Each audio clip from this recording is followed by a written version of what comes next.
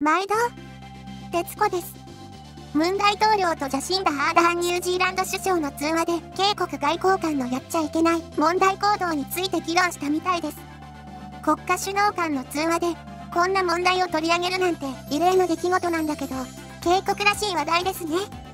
ニュースの詳細。ムン大統領は、28日午後4時30分から30分間、アーダーン首相の要請で電話会談を行った。大統領府は、同日、両首脳の通話内容をまとめた書面資料を出した。両首脳は、警国、ニュージーランド間の新型コロナ貿易協力、経済協力と国防、通商などについて話し合った。また、ムン大統領は、世界貿易機関 WTO 事務局長選挙に立候補したユミョンヒ通商交渉本部長に対するニュージーランドの支持を要請した。アーダーン首相は、ユミョンヒ本部長は、有力な候補と聞いているとし、非常に優れた資質を備えていると聞いており、関心を持って注視していると明らかにした。同日の電話会談では、国家間の主要2台が主に話し合われた中で、意外なテーマが取り上げられた。最近、やっちゃいけない犯罪の容疑で、ニュージーランドで拘束令状が発行された警国外交官の問題行動についてだ。とのことです。あかん。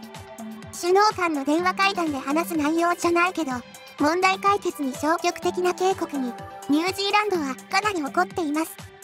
文大統領は、ニュージーランド首相に、WTO 事務局長選挙への支持をお願いする前に、やるべきことを忘れていたみたいですね。この問題は2月頃から問題視されていて、外交部か青瓦台には情報が入っていたと思います。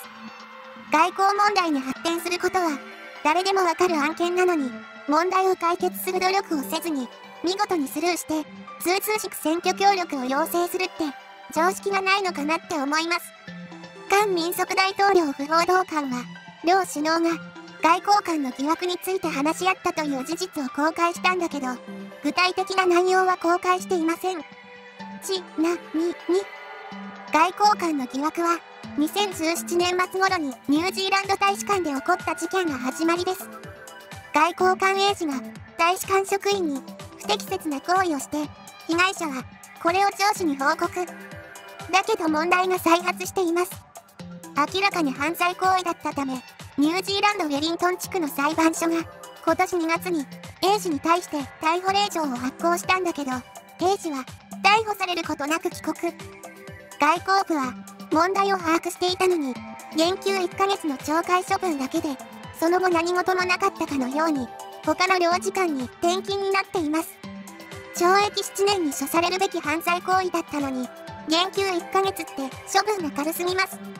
この警告の対応に対してニュージーランドのメディアは警国政府は逮捕令状の執行に協力しないと批判の声を上げています。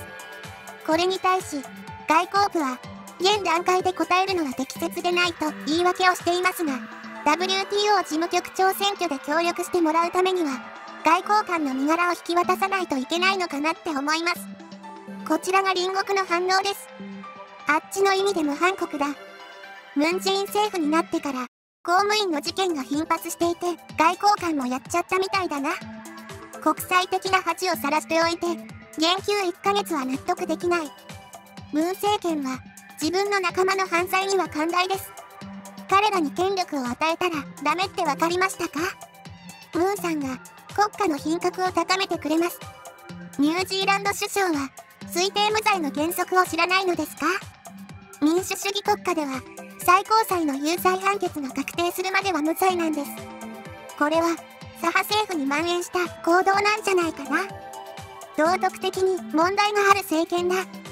国民は目覚めよ。国内では物足りなかったみたいですね。